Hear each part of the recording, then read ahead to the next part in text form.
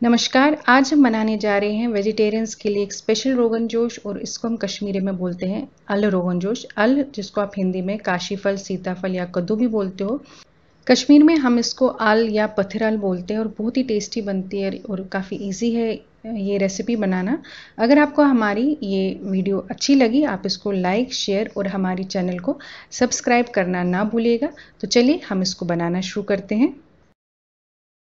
यहाँ पे हमने आधा किलो काशी फल लिया है, या जिसको आप कद्दू भी बोलते हो, पर आपको जो लेना है वो है जो पीला वाला होता है, जिसका जो बाहर का कवर होता है, वो भी थोड़ा काफ़ी हार्ड होता है, एकदम पका हुआ है, वही वाला लेना है आपको।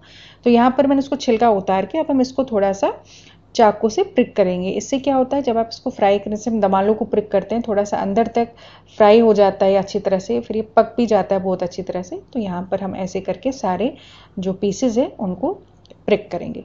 उसके बाद मैंने यहाँ तेल ऑलरेडी गर्म करने के लिए रखा था तो अब मैं इसमें थोड़े थोड़े बैचेस में काशी फल को जो है अच्छी तरह से फ्राई करूँगी। एक साइड से जब ये फ्राई हो जाएगा तो हम फिर उसको दूसरे साइड पे पलट देंगे। इससे इमली दोनों साइड से अच्छी तरह से फ्राई होंगे। तो मेरी रेसिपीज़ को देखकर आपको पता चल ही गया होगा कि कश्मीरी लोग जो है वो सारी सब्ज़ियाँ फ्राई करके खाते हैं। तो यहाँ पर देखिए, ये अच्छी तरह से गोल्डन ब्राउन हो गए अब हम इनको तेल से बाहर निकाल देंगे और ऐसे ही करके हम जो बची हुई काशी फल है, उनको भी फ्राई कर देंगे।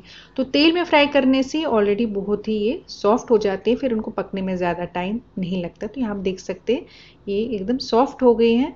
यहाँ पर हमने तेल काफ़ी सारा लिया था फ्राई करने के लिए। तो अब हम एक्स्ट्रा तेल इसमें से निकाल देंगे और जितना तेल आपको चाहिए, आप उतना तेल पैन में रख सकते हैं। तो गैस की आँच बिल्कुल धीमी रखी है मैंने, अब मैं इसमें ऐड करूँगी हींग, तेज पत्ता और खड़े मसाले जिनको मैंने थोड़ा सा क्रश किया है। तो खड़े मसाले की क्वांटिटी आपको नीचे डिस्क्रिप्शन बॉक्स में मिलेंगी, उनको हम तेल में भून लेंगे। जब तक इसका थोड़ा सा फ्लेवर निकल के नहीं आ जाए, फिर हम इसमें डालेंगे डेढ़ टी स्पून कश्मीरी लाल मिर्च पाउडर और एक टेबल स्पून दही और इसको अच्छी तरह से तेल में भून लेंगे।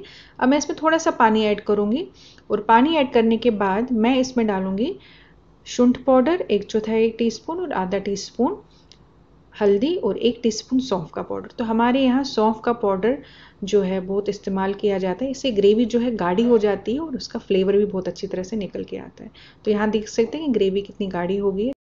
अब मैं इसमें सवा गिलास पानी ऐड कर लूँगी और साथ में हम इसमें डालेंगे नमक स्वाद अनुसार और मैं इसमें दो चुटकी चीनी डालूँगी। तो चीनी से इसमें थोड़ी सी मिठास आ जाती है क्योंकि काफ़ी टाइम क्या होता है कि जो कद्दू होता है, फीका होता है तो फिर उसमें मज़ा नहीं आता है। थोड़ी सी मिठास इसमें होनी चाहिए।